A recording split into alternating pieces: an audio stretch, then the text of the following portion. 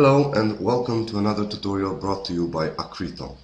In this tutorial we're going to discuss about how to add textures and then create materials for this already created scene. We're going to use 3D Max 2010 and V-Ray for rendering. Okay, go ahead and open up bedroomstart.max. You'll find um, a bedroom already modeled in every small detail. We just need to add textures and create materials to it and afterwards we're going to render it. Okay, I'm going to hit Alt W on my keyboard to maximize the perspective view. We're going to work on each material one at a time. First we're going to create the material for the walls. Just click on wall and hit Alt Q on your keyboard to enter isolation mode. This way it will be easier to see what's going on. Okay, go ahead and open the material ed editor. You can do this either by pressing M on your keyboard or just hit this icon here.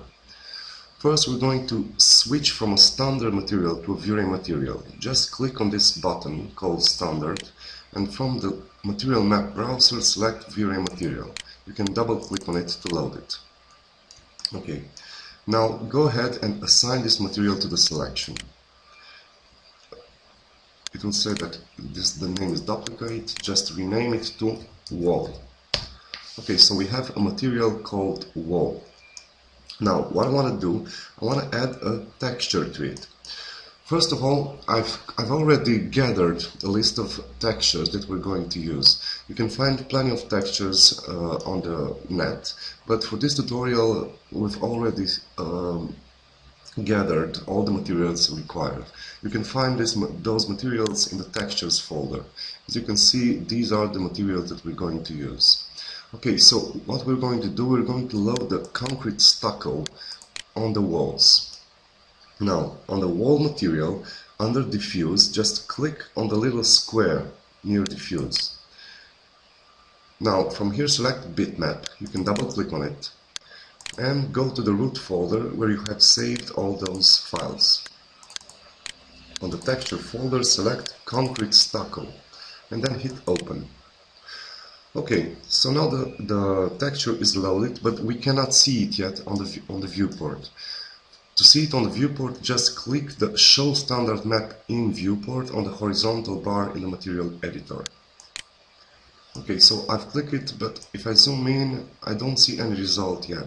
This is because the wall was created from a spline and uh, it doesn't have any UVV information. We're going to add this information. Minimize the material editor for now. Okay, so let's go ahead on the modifier stack. In the modifier list, just select UVV map. Okay, now we can see some result, but uh, this doesn't work for us. Just switch from planar to box. Okay, now uh, as you can see, uh, there's a uh, there's this orange box that surrounds uh, the entire object. The problem is that uh, the texture that we're using has been stretched.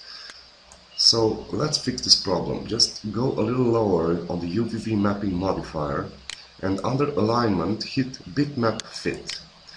Now it will ask to um, select a bitmap. We're going to select the concrete stucco that we've used previously.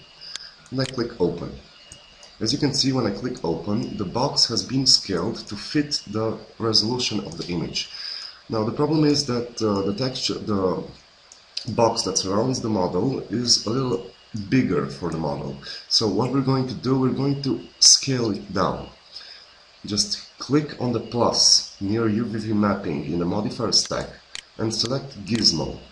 Okay, now as you can see, the orange has turned yellow. This means that it will allow us to move, scale uh, and rotate the gizmo. Go and hit select and we're going to select it uniformly down. Okay, I'm going to zoom in to see if this is good enough. Okay, I think it could be a little, a little lower. maybe something like this okay okay so I think we have a pretty much good result as you can see uh, there are some irregularities that will make the wall look very good Okay, so when I'm finished scaling down the UV map, I'm just going to click again on the gizmo to make sure that I've exit the UV mapping sub-selection. Okay, so now, for now the texture is applied correctly on the walls. Now what we're going to do is we're going to set the material to function as a wall. Let's go ahead and open the material editor again. Okay, so now on the material editor we have the diffuse map called map 0, but we want to modify the material and not the texture. Just from the drop down menu, go ahead and click and select wall. Now we've returned to the material and not the texture. We have the stucco placed on the diffuse, but what we want to do is duplicate this and, and place it under the bump map. Just go under maps rollout, scroll down a little bit, and just hold and drag the map to bump. It will ask what method you want to use, and let's just say copy for now. Okay, now we all we have uh, some sort of a 3D effect on this. Okay, I'm going to zoom in a little bit and hit F9.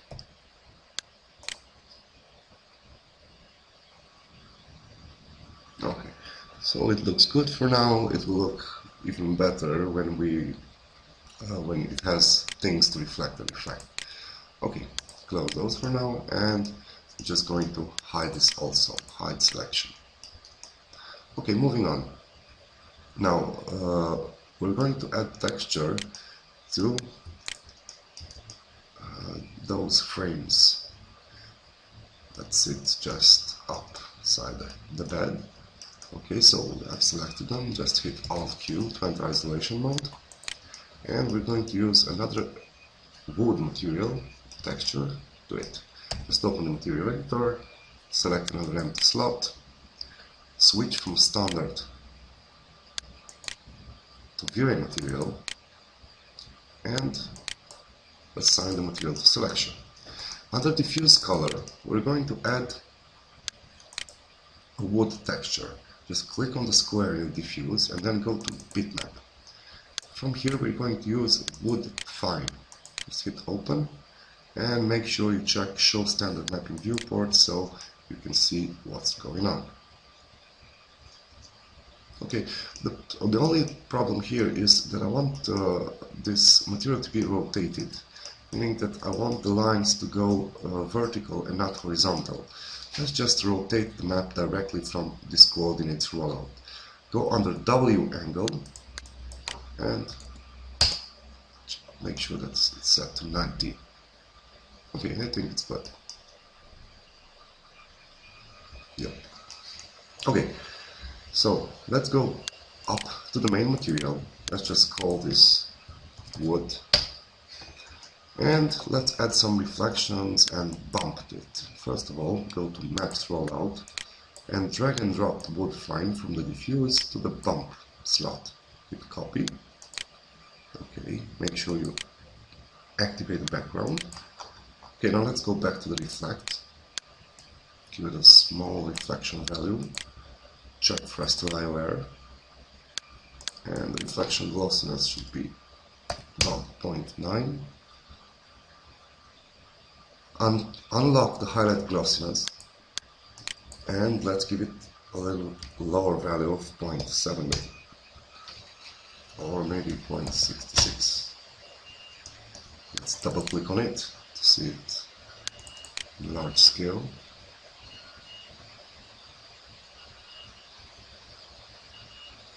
Okay, as you can see, the bump value is too high. Let's just go back to the maps rollout and lower the bump from 30 to about 12 and hit update to see the result.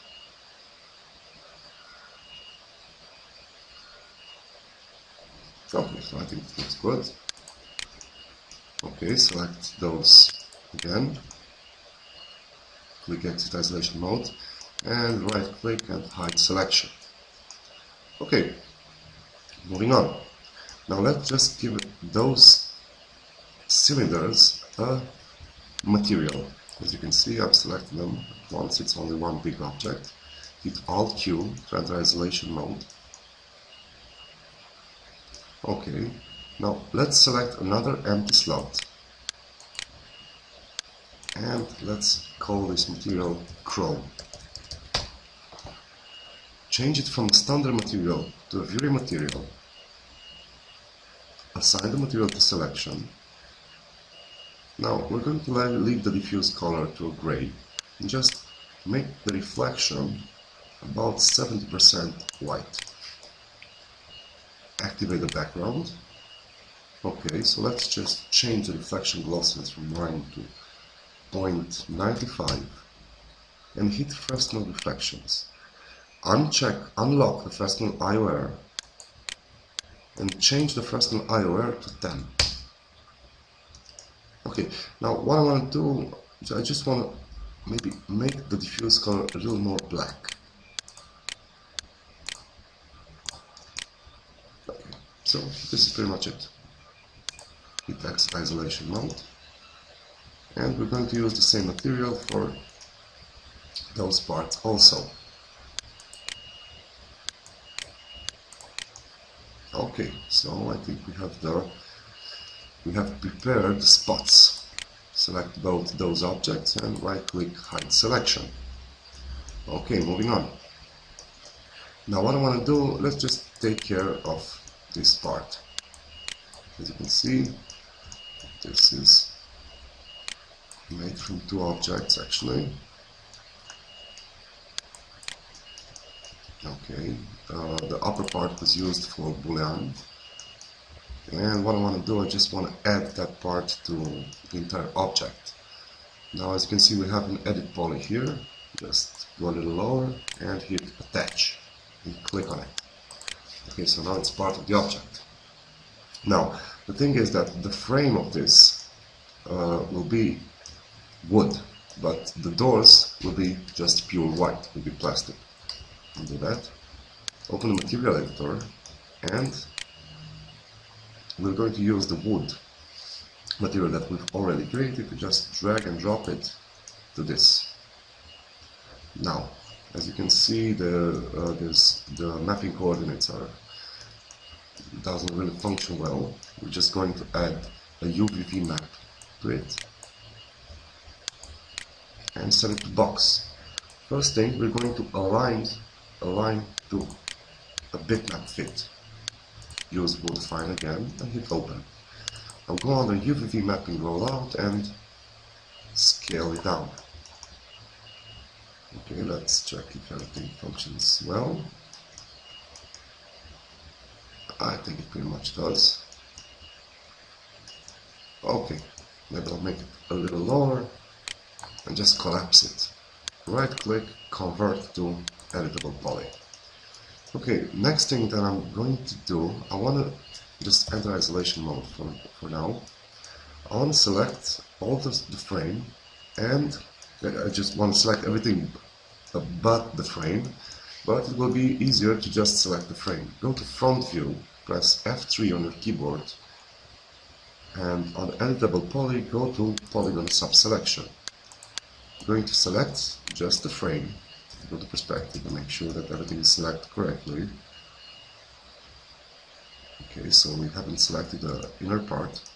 Go again to frame. Just select all those parts. To perspective again.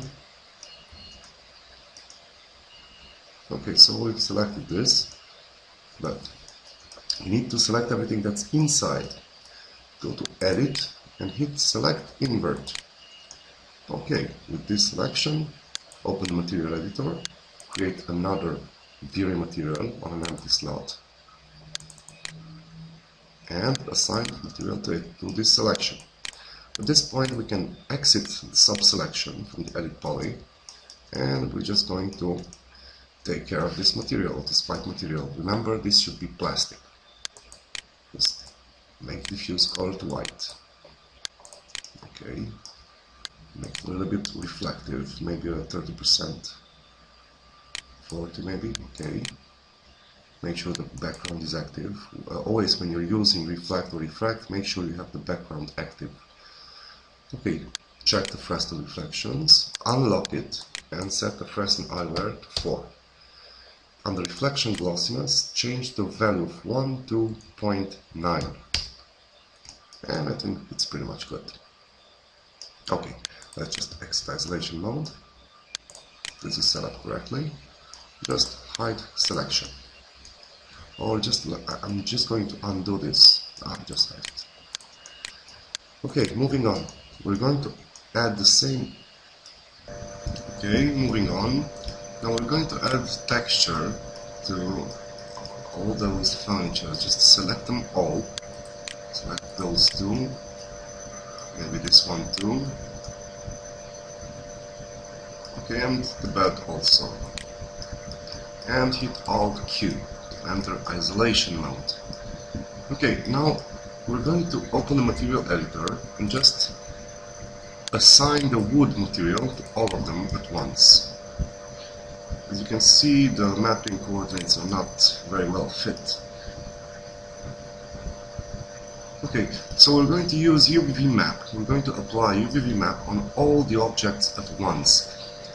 As you can see, we have five objects selected. Just from the modifier list, select UVV map. Set it to box. And under alignment, hit bitmap fit and select the wood fine texture and then hit open. Now go under UVV mapping subselection and scale it down. Okay, we have something like this. Okay, I'm going to exit the map subselection and we're going to arrange them one by one. Just select those two pieces of furniture at once. First, we're going to make them unique, because the UVV map we've placed on all the objects is now an instance modifier, but we're going to have to work differently on those two parts than the rest of the parts. Just hit Make Unique. When the Make Unique dialog box appears, hit No. Okay, now we can go on this UVV mapping subselection, and we're going to rotate it 90 degrees on the z-axis want those lines to come like this and not the other way around. And now I'm going to rotate it under y-axis also, 90 degrees. Okay, let's check them closely. Okay, so I think it's good for those two objects. Now let's take a closer look to the bed.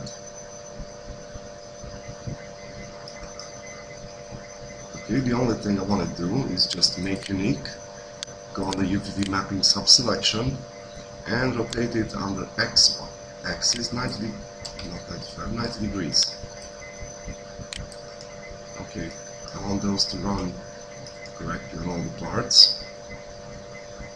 Okay, I think it's good. Now let's take a closer look at this object. Let's do the same thing, just make it unique. Go on the UVV mapping subselection and rotate it on the y-axis. Like this. Okay, so I think it's pretty much good. Now I'm going to select all the objects at once and hit exit isolation mode. Now with the object selected, just right click and hide selection.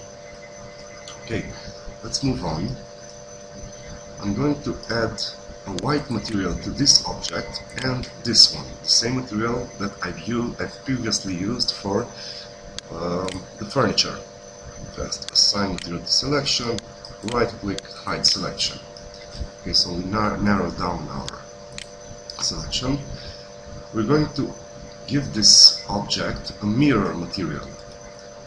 For that, just select another empty slot on the material editor, convert it from a standard to a V-Ray material, assign the material to selection. Now, the diffuse color is not important at all, because we're going to use a maximum reflection amount.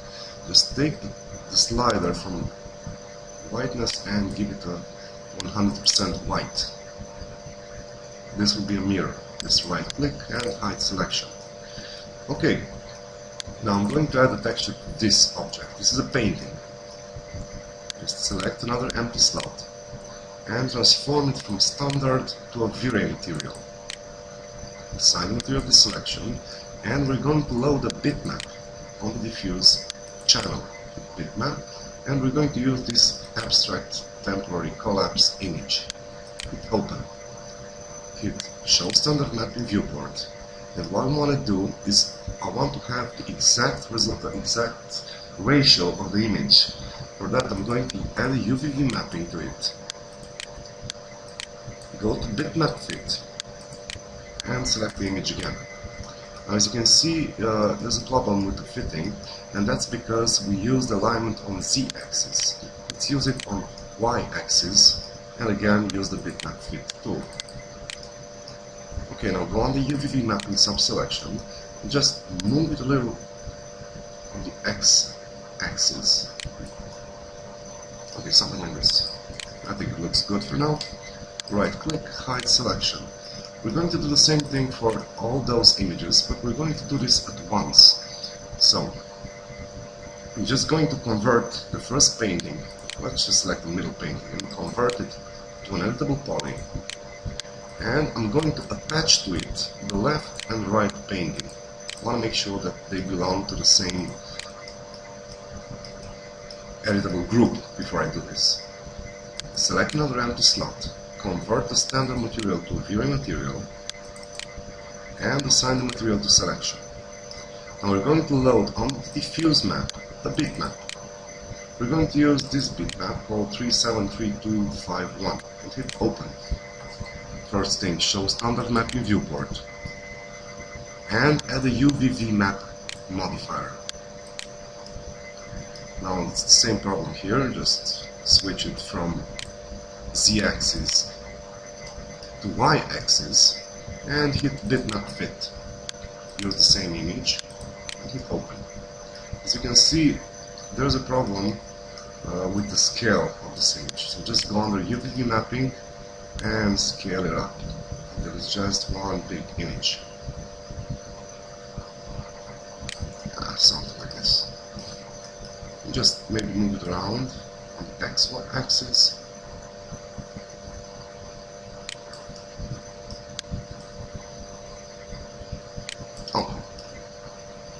exit the UVV mapping sub-selection and right-click on hide selection. Now we narrow down our selection to these objects. Let's just start with the lamp. The lamp is made from two parts, this part and the lower part. The upper part should be a transparent material so the light will pass through it.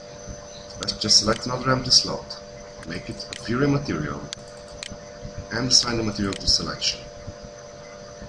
To use the same red color,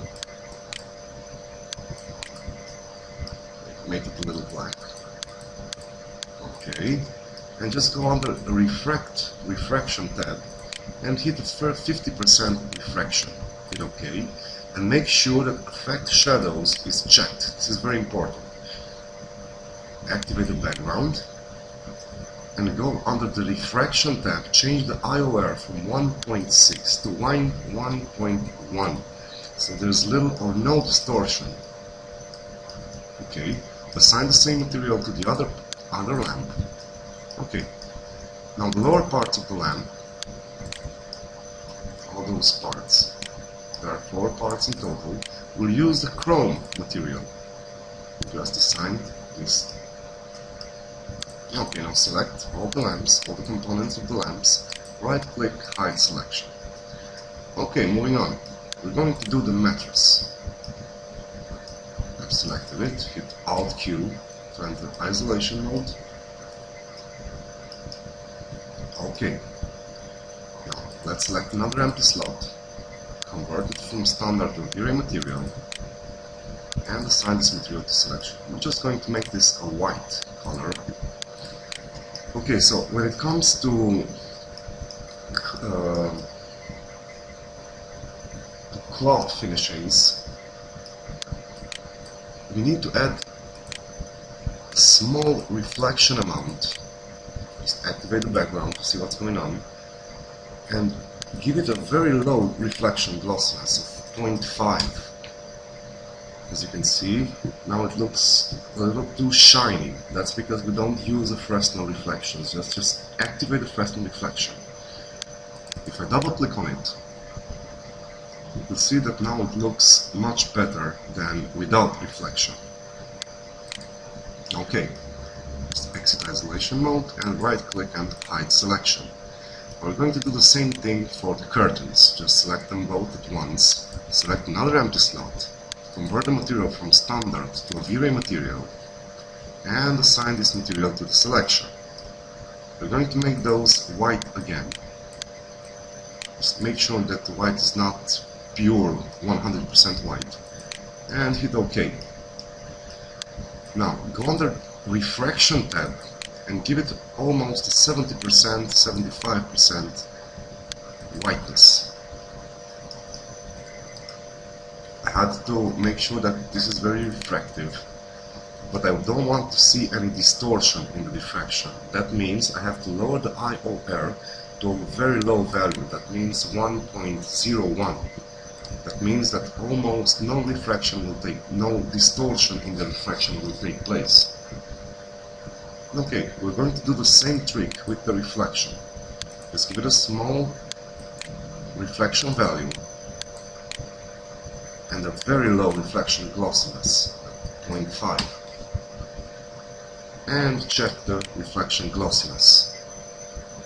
Now, at this point it's very important to remember to activate effect shadows, otherwise the light won't pass through it, and it's very important the light passes through the curtains.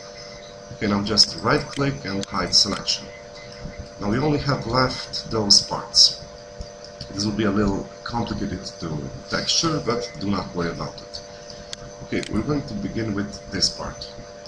I've selected it, hit Alt Q on the keyboard to enter isolation mode. From the material editor, just select another empty slot, V-Ray material, and assign material to selection. Now I want to give it uh, a stripe look. To make it stripe, I'm just going to load under the diffuse panel the tiles map. Just double click on tiles and show standard mapping viewport. Now the good thing is that the mapping is already correct, so otherwise the mapping would, have to would take a lot of time to do. Okay, let's just go under advanced controls and hit the vertical count to zero, not vertical, the horizontal count to zero. As you can see now we only have horizontal stripes. Now, the horizontal gap should be larger. Let's just give it a value of 4 and change the vertical count to 8. Maybe even more, maybe 12. And make the horizontal gap, either way, just lower the value until they look well proportioned. Now let's just give it a vertical count of 20. Just lower the horizontal gap. Okay, so I think it looks good at this point. Now let's just change the color, the tile color and the grout color. The tile color should be white and the grout texture let's just give it a red color dark red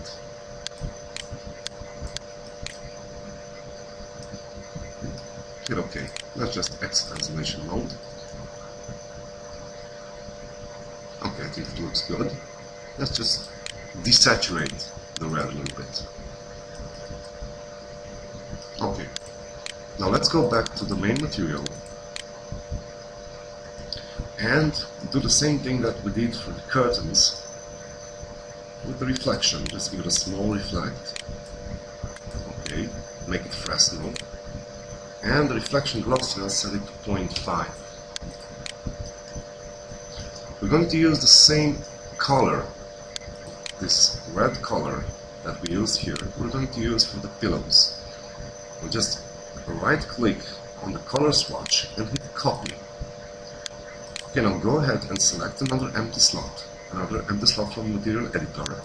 Convert the material from standard to a V-Ray material and just paste the color on the diffuse swatch. Let's just drag and drop this on the pillows. Okay, and give it a little reflect.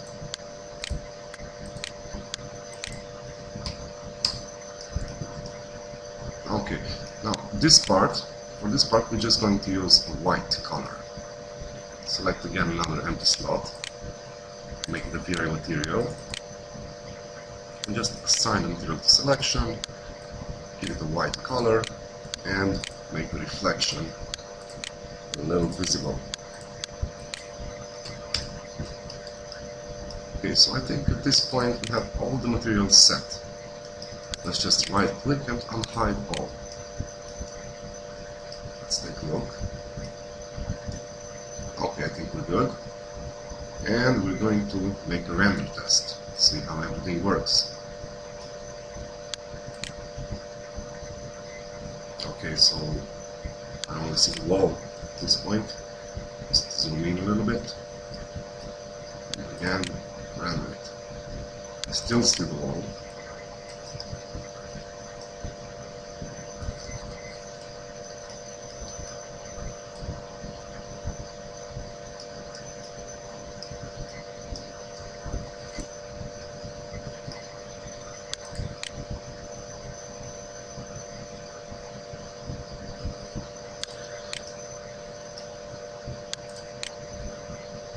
Okay.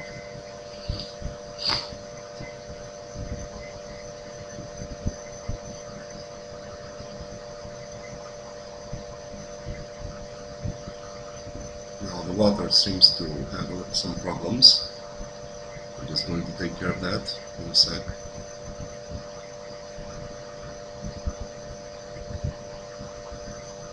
Otherwise, I think everything looks pretty much good.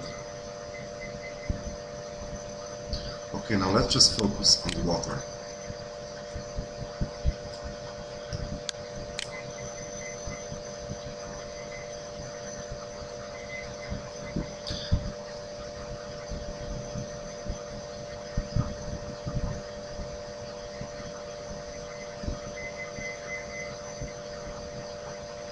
The problem is the max depth color. When the reflection and or refraction are finished bouncing, it will return it will return a black color. Let's just open the material editor and find the water material. Here. As you can see the fog color is all this blue color from the sides. Now let's just copy this fog color and just paste it on the exit color and render again. That's not a problem.